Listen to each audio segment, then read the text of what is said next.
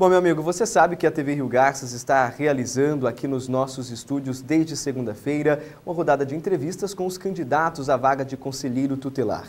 No dia 1 de outubro será realizada esta eleição aqui no nosso município. E para bater um papo conosco hoje, estamos recebendo aqui a Cibele Alves, que vai falar um pouco com a gente, se apresentar para você que está aí nos assistindo aqui na TV Rio Garças nesta quinta-feira. Primeiro, Sibeli, uma honra tê-la aqui conosco. Seja bem-vinda, boa tarde. Deixo espaço para que você se apresente aí para a nossa população.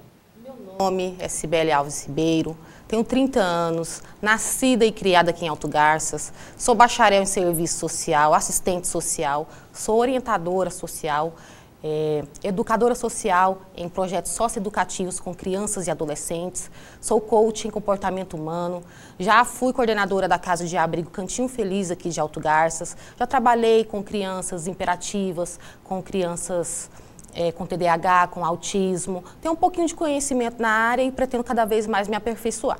Bom, Sibeli, e por que né, você se colocou à disposição para ser conselheira tutelar aqui no nosso município? Eu quero ser conselheira tutelar porque vejo que a população necessita muito de melhorias, ah, que tenhamos uma atenção redobrada, principalmente nos casos de vulnerabilidade. Estarei buscando e lutando com bastante dedicação. Um, pela garantia dos direitos da criança e do adolescente, zelando pela integridade física e moral e atuando com credibilidade, compromisso e responsabilidade. Bom, Sibeli, é, a pergunta que eu sempre fiz para suas outras colegas que passaram por aqui, que também estão nessa disputa, vocês são em 12. Qual Sim. seria a diferença da Sibeli Alves? O meu diferencial é que eu quero trabalhar constantemente em busca de melhoria para as crianças e adolescentes aqui para o nosso município. Uhum. Bom, e como que foi, né? Como que você já falou pra gente que teve esse preparo aí, Sim. né? Eu gostaria que te perguntar né, um pouco mais, que você fala, trazesse um pouco mais para nossa população deste preparo que você fez, que você se sente, né, para estar aí ocupando essa vaga. Há muito tempo eu já venho estudando sobre os direitos da criança e do adolescente, sobre os deveres do conselheiro tutelar e utilizando como suporte o ECA, o Estatuto da Criança e do Adolescente.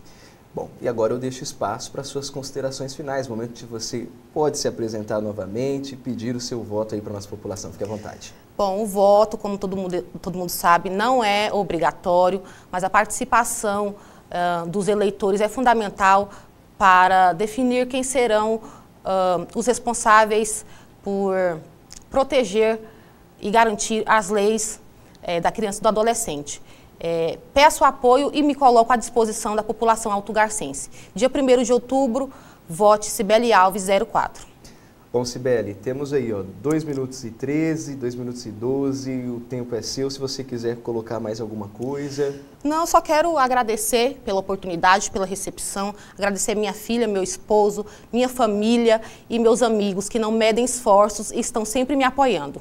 Bom, desejo boa sorte para você. Muito obrigada. E mais uma vez eu reitero o que eu estou dizendo a todas as candidatas aqui. Eu acho que esse ato de vocês estarem aqui na TV Rio Garças é um respeito, primeiro, com nós que somos profissionais de imprensa, desde já agradecemos, e principalmente com a população de Alto Garças. A gente sabe que essa eleição é uma eleição, como você mesmo pontuou, que não é obrigatória, mas eu acredito que deveria ser. No Sim. entanto, a gente agradece sempre a disposição e nos colocaremos sempre à disposição de vocês do Conselho Tutelar e sempre agradecendo esse respeito que vocês têm aqui com nós da imprensa e com a população. Muito obrigado. Eu viu? quem agradeço. Principalmente por ser um feriado e vocês estão aqui com a gente, tá bom?